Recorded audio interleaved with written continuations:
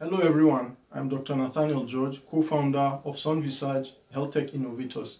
I'm delighted to present to you three of our inventions. We have the jugular venous pressure scale, we have the chest meter, and we also have the growth screening wheel. But this time only permit me to present to you the chest expansion and symmetry meter, or chest for short. This simple device is designed to simultaneously measure the length and symmetry of chest expansion.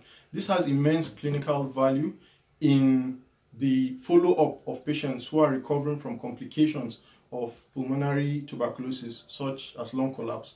We have also used the limited resources and tools that we have to develop the growth screening wheel. We are currently in the process of distributing 1,000 of them across seven states in Nigeria. We look forward to making a presentation and a case for support. Thank you very much.